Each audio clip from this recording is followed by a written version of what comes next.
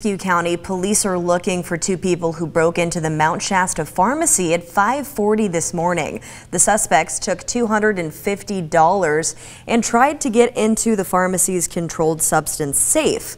Police describe the suspects as two black men. One of them is about 5 foot 8 to 5 foot 9. The second man is about 5 foot 11. The car is a primer gray Subaru Impreza. If you have any information, call the Mount Shasta Police Department.